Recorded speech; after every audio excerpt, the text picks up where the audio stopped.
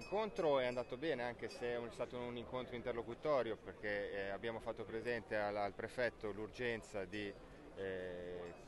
per noi di, di, di, avere il nome del commissario e quindi di poter continuare l'attività lavorativa